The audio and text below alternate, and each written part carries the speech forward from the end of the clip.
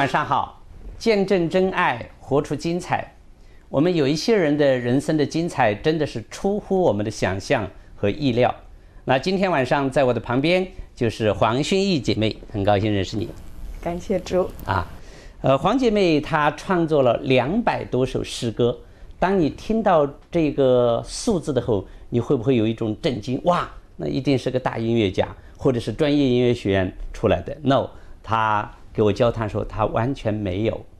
他的这个专辑叫做《报告神悦纳人的喜年》，毫无疑问，这就是一个生命盛世的画卷。到底黄姐妹她是什么样的力量和动力，什么样的启示和创作的灵感，以及她生命有怎么样的改变，就是今天晚上我们要为你分享的。啊，黄姐妹，我想首先来谈谈你这个信仰的历程和生命的经历，好吗？好的，嗯，呃，我其实是在一个这个非常破碎、人生非常破碎的状态之下，才真正的呃去到了教会。我虽然小时候小孩的时候呢去上过主日学，嗯，但那个时候呢并没有真正的认识神。我可以感受到神的爱，但那时候真的没有没有没有真实的认识到真理。嗯，那是我在人生呢已经走了三十多年，真的是在婚姻上，在这个身体上，在各方面呢。都经历了极大的一个破碎的状态之下，嗯，感谢神也差派了他的天使带我去到了教会。感谢主，其实这也是神特别的拣选和磨造人的方法。呃，神他在圣经上说，他要把我们磨成他儿子的样式。这个“磨”字，就是如果我们没有经过患难，没有经过苦难，我们的生命就不会去成长。更重要的是。就没有办法去服侍人，你同意这个观点吗？嗯嗯，那你可以分享一下，在你这个过程当中，生命最大的改变和更新主要在哪个方向？嗯，我觉得首先呢，我是被神的爱得着，嗯嗯，真的是被神的爱完全得着。嗯，你知道，在世间呢，不论是什么样的大情圣，是是，其实呢，爱都是很有限的。对对，都爱都是很有限的。即使是做父母的，做父母的常常也有这个啊，这个心有余而力不足的时候。是。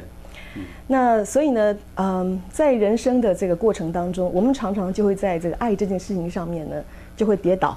嗯。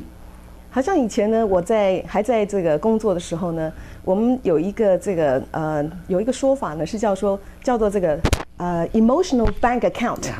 呃，我不知道你有没有听说过啊？就说呢，我们跟在人际关系当中呢，我们要常常的存款。嗯，我们要常常的存款，就好像呢，我今天认识你，然后我常常对你好。要是有一天呢，我不小心说了什么话冒犯你的话，你可能就原谅我。哎呀，他一定不是有心的，我就原谅他。是。但是如果说是我常常冒犯你，你可能就开始扣分、扣分、扣分。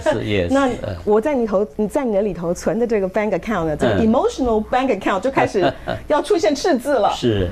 那我我感觉到呢，在人生的过程当中呢，呃，真的是，就说 sooner or later，嗯，你都会碰到这个情感破产的时候。感谢主，这就是人的有限，因为人的爱情，假如没有神来参与其中的话，它就是一个属肉体的、属血气的、属己的生命。就像你刚才说的，可能他的存款是刻意的存，嗯，但是他努力的存，存到了。他认为很大的地步可以去支取的时候，没想到那个支取马上就是透支了，你同意吗？对，没错，没错。他一句的伤害话，可能让你所有过去的赞美全消失了。嗯，是的。那呃，那个时候呢，我自己本身真的是经历到人生的一个极大的低谷。嗯嗯，我的先生呢，在这个他是很有雄心壮志的，所以呢，他那个时候呢，他是选择了跟公司谈好了，说他要。去亚洲啊啊！回来跟我跟我这个通知一下啊！回来给你通知一下，就是回来通知我一下。那个时候我两个孩子才刚生，嗯，老二生老二之前呢，我还坐在轮椅上，我是下半身瘫痪的哇。所以即使生了孩子之后呢，其实我的这个整个两腿呢还是经常不良于行。所以那个时候呢，呃，其实对我来讲是极大的一个挑战。那嗯，我。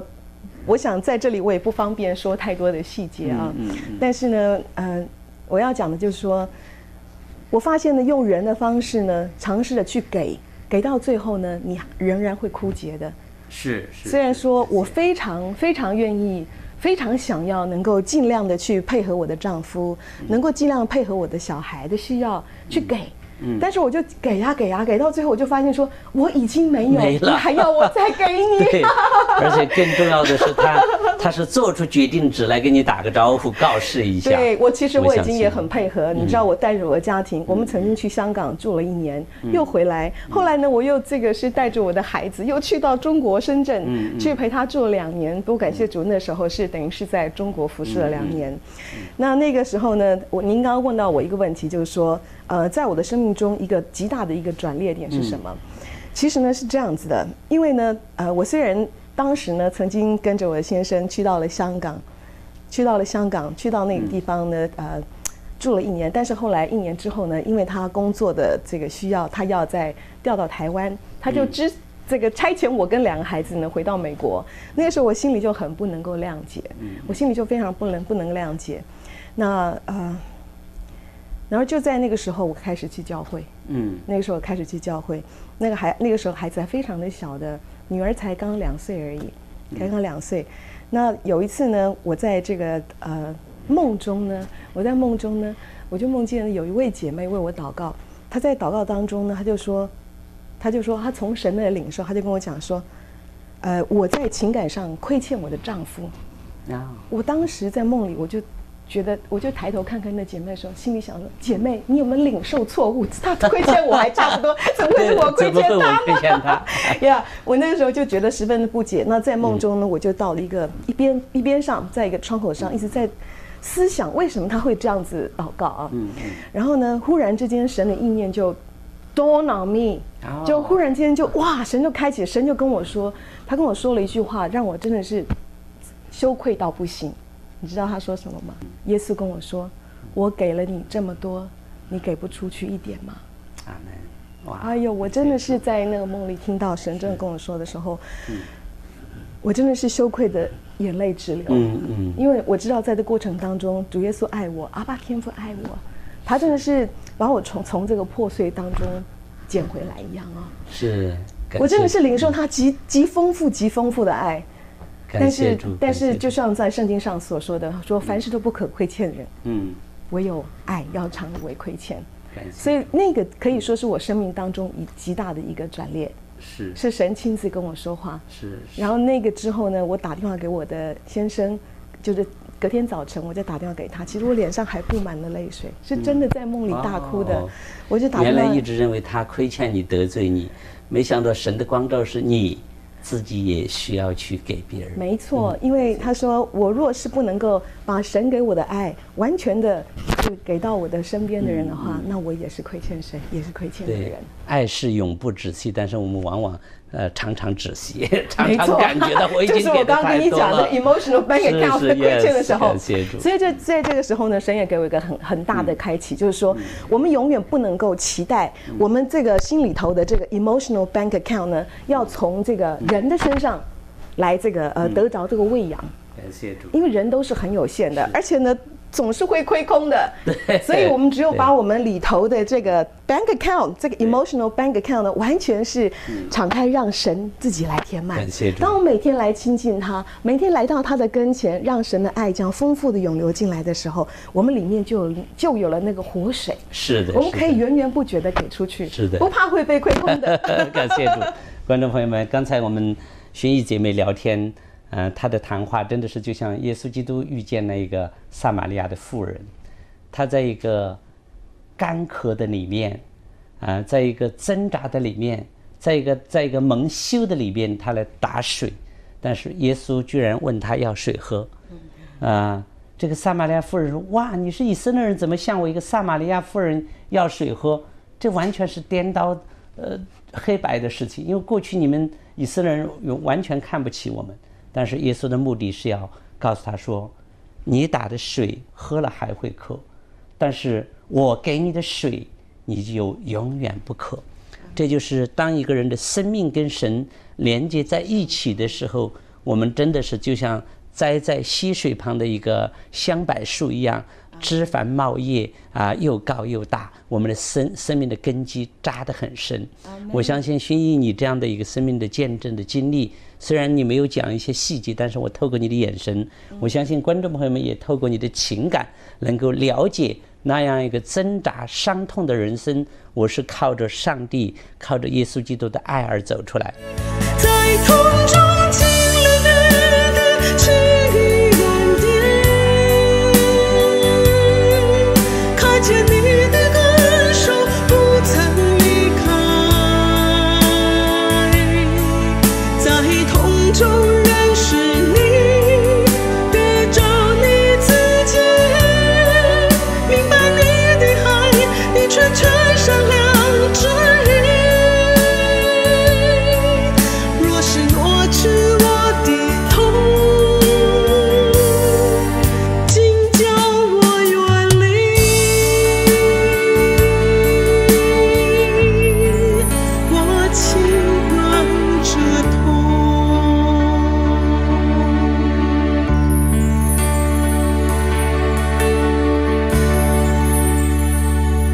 但是我今天呃，更关心的是，刚才我给观众朋友们介绍啊，你走进教会以后，为什么就开始来创作诗歌？你是专业的吗？或者过去对音乐有有爱好和兴趣吗？呃，我的确是从小呢是对音乐有爱好的啊。我从呃小学三年级就一直在合唱团，一直到我三十几岁结婚的时候，我还在合唱团。那个时候是在台北市妇女合唱团，我们也在这个国家音乐厅。社会上不是教会的，是吗？对对对，我们那时候在这个国家音乐厅还公演过几次。那个时候我刚刚跟我就是后来这个先生认识的时候，他就是先来参加我们的演唱会。但是呢，我并没有机会真正的去学习任何的乐器。虽然我非常的、非常的渴望能够学习。我记得在我很小的时候，可能上幼稚园的时候，我就跟我妈妈提说：“呃，我希望有一架钢琴。”哎呀，我觉得我在我妈妈眼中那个非分之想，她就跟我讲说：“ 要那没有用的东西干嘛？” 所以，我当下就觉得说：“哎呀，这个是好像不应该、不应该跟跟跟家人要的。”但是我心里还是有这么大一个渴望，所以我常常看着我的同学弹琴，我就在边上看着看着。然后我常常呢，我的初中跟高中最好的同学呢，后来都念了音乐系。嗯，所以在学校的时候呢，我常常为他们做的一一件事情，就是他们在弹琴的时候，我帮他们翻谱。啊，哇，呀，很很有意思啊。但是呢，我自己真的都没有什么机会去学习乐器，所以我在高中的时候呢，曾经有我们合唱团的朋友呢，同学以为说我会去念音乐系，但是呢，我跟他我就跟他们说我什么乐器我都没学过，我怎么去读音乐系？然后我是在高中毕业之后呢，我父亲送给我一个这个毕业的礼物，送我一把吉他。然后那个时候我就学了一个暑假。想要钢琴得到的是吉他，吉他比较便宜嘛。对，就然后呢，我就学了一个，我就学习了几个月的这个吉他。嗯。那后来还甚至教我弟弟，所以我还有学生。然后我是到了大二的那个暑假的时候呢，呃，我因为一边打工。开始自己有一点有一点这个积蓄，嗯，所以我就在这个呃，我就在这个暑假的时候呢，我去学钢琴，那可以自己交学费了，哎，可以自己交学费。可是那个时候呢，我只上了一个暑假的课，两个月的课而已。我父亲又浇我的冷水，他说：“你又没有琴，你怎么可能学得起来呢？”嗯，我都是去琴房练的。哎呀，所以呢，这个水一泼呢，这个热情呢，好像又 又又被止息了一样。哇，这个薰衣，你讲到这里，我突然。记起一位牧师给我的分享，呃，他说他的女儿，呃，他从小都去陪他去练钢琴，那练了一段时间后，第一次在众人面前去表演，那他呢很兴奋的在旁边做观众。当这个表演下来结束了以后，他对他女儿说的话是：“你弹的是什么呀？这么差，这么糟糕！”哇，对他的女儿是一个极大的伤害。从那一天起，那个孩子就开始远离钢琴，躲着。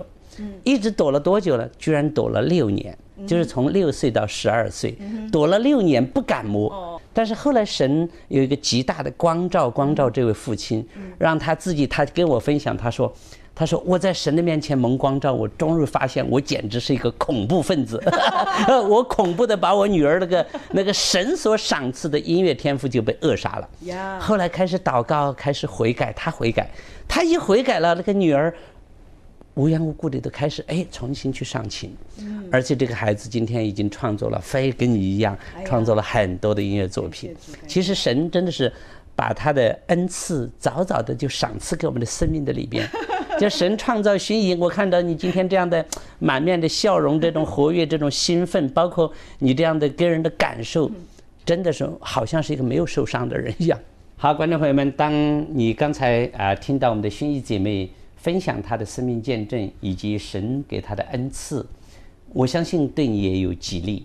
其实神在啊创造人的时候，就在我们每个人的里面放了一个 DNA，这个 DNA 可能是唯一的，就是因为神把那个独特的恩赐赏赐给你，他要来使用你。让你在人前去见证和荣耀他的名。我想薰衣姐妹就是这样的一位姐妹啊，她本没有这样的音乐的呃这个天赋啊，虽然从小爱，但是神给他启示，他就开始走上了一个创作之路。那我想问一下，呃，在你这么多的音乐作品当中啊，最有影响力的或者是传唱最广的是哪一首？可以给我们唱一段吗？嗯，我过去呢，这个这个诗歌呢，有几首是已经收收在我们生命和林良堂的这个诗歌专辑里面。诗歌专辑里面，好像耶和华的军队啊，渴望复兴的火。啊，渴望复兴的火。呀，还有像更深经历你啊。嗯。还有呃，像最近出的这张新的教会的一张新的专辑里面，里面有一首是愿你以我的默念为甘甜，就是二十周年庆典里边的，对对对，啊，对对对。那呃，好像更深经历里面，更深经历经历你这首歌呢，可能很多人呢都不太记得它的歌名叫什么，嗯，但是一定记得当中的歌词，嗯，让我听懂你心跳。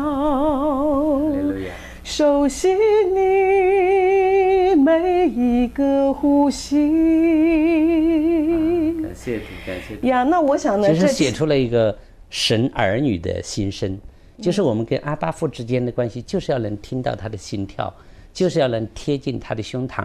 当我们跟神有这种活泼的交通和关系的时候，我们的生命就跃然上升到一个层次，是不是这样？呃，感谢主，我觉得这个也跟我我在神面前的一个许愿有关啊。嗯。因为我觉得神这么的爱我，我也非常希望说我能够常常让耶稣待在他的身边。感谢主。所以我在很多年前我就跟神有这样的一个许愿，我说主啊，我真的不期望做什么大器皿，但是我希望可以。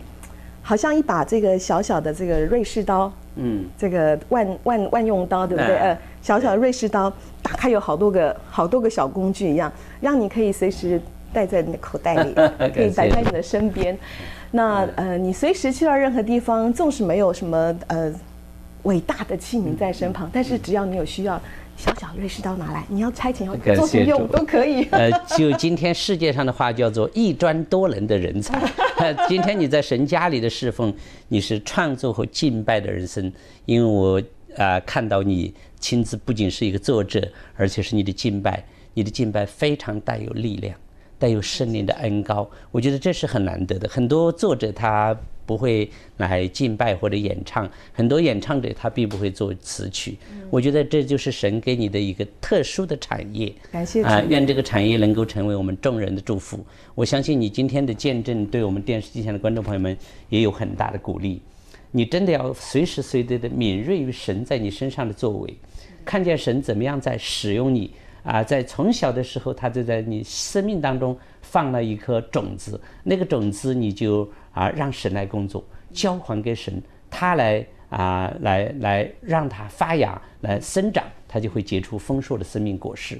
呃，在你这么多的服饰当中，啊，你可以给我们分享一下你服饰因别人。而生命改变的这样的见证吗？呃，好啊，我就讲一首歌的见证哦。其实就在这这首歌，真的就刚好收在这里头啊，是一粒麦子。哦，一粒麦子，对。哎，对，这首歌一粒麦子呢，不晓得你你听听过了没有？在这之前我已经拿到你的。呀呀，这首歌呢，呃，是当时呢，也是为一个小组这个呃敬拜的时候，呃敬拜的需要呢，我祷告仰望神，呃求的诗歌。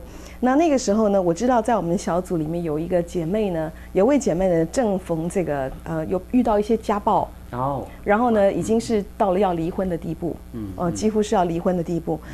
那那个时候呢，我就跟神祷告说：主啊，求你赐下医治的诗歌。嗯，结果没有想到，我就在我们家附近散步走岛，一边一边散步呢，就一边跟神这样子祷告。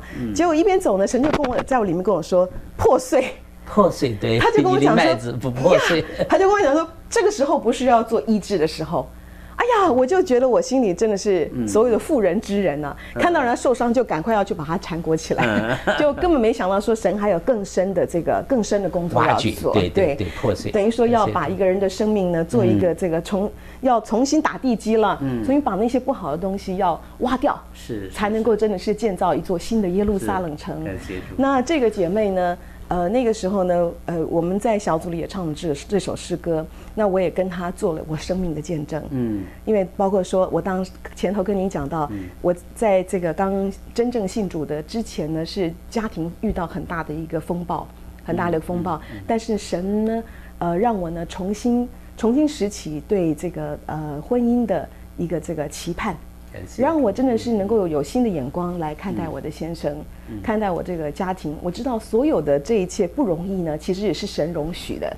就好像呢，我可以分享一段经文吗？很好，感谢主。我分享这句经文，我觉得这个是呢，我在这个各样服饰，不论是诗写诗歌，或者是有时候为人祷告的时候的一个这个呃最重要的一句话，就是在哥林多后书第一章第四节里面讲的，说到我们在一切患难中。他就安慰我们，叫我们能用神所赐的安慰去安慰那遭各样患难的人啊！感谢主。所以那姐妹呢，也是因着我的见证，因着我的鼓励，她就撤销了这个要离婚的念头，然后至今这个家庭是越来越好。感谢主，观众朋友们，呃，谢谢你收看我们的节目啊，谢谢你仔细的聆听薰衣姐妹她的个人生命的见证和分享。刚才这一段经文实在是美好，她说。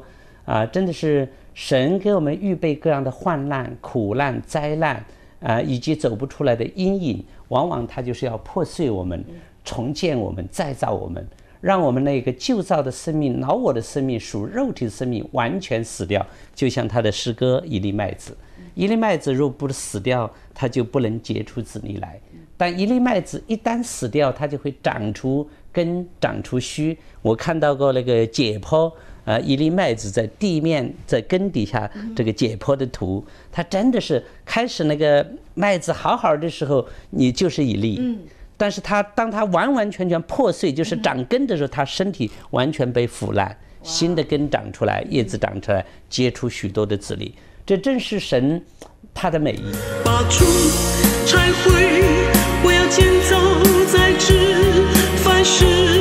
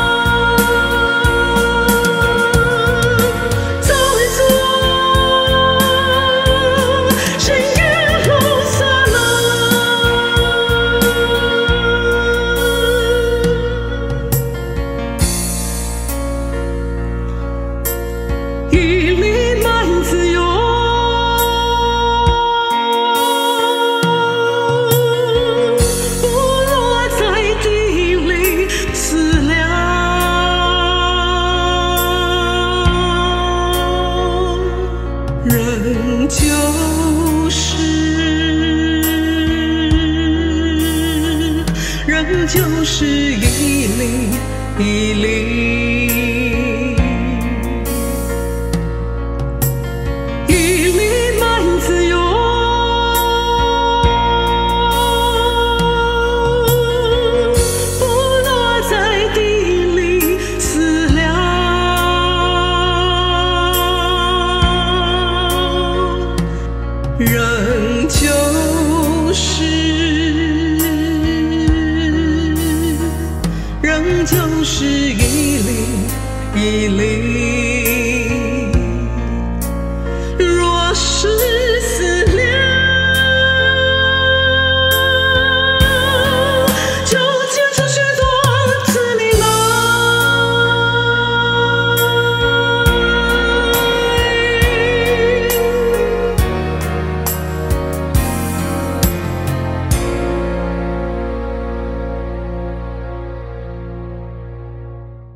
所以啊、弟兄姐妹们啊、朋友们，当你的生命当中遇到这些患难的时候，你不要以为奇怪，也许这就是神给你的一个化妆了的祝福，他要让你的生命啊、更加美好。当你今天看到薰衣姐妹这样一个热情洋溢的姐妹的时候，你很难去想象她受过啊、那个死因幽谷当中难走的难熬的过程。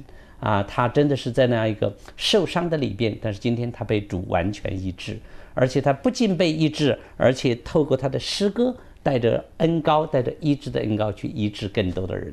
愿神来祝福你。我知道今天我们的时间非常有限哈，你的生命是滔滔不绝，可能也分享不完。啊、我真的是很高兴能够认识你。你可以跟我们的电视机前观众朋友们说几句激励的话吗？嗯啊呀，我想呢，真的正如刚刚这个主持人说到的啊，我们生命当中呢都会碰到各样的这个挑战，但是呢，不要放弃，不要放弃，就是这句话，不要放弃，在神里面，在神里面没有难成的事情，一定要专心的来信靠他。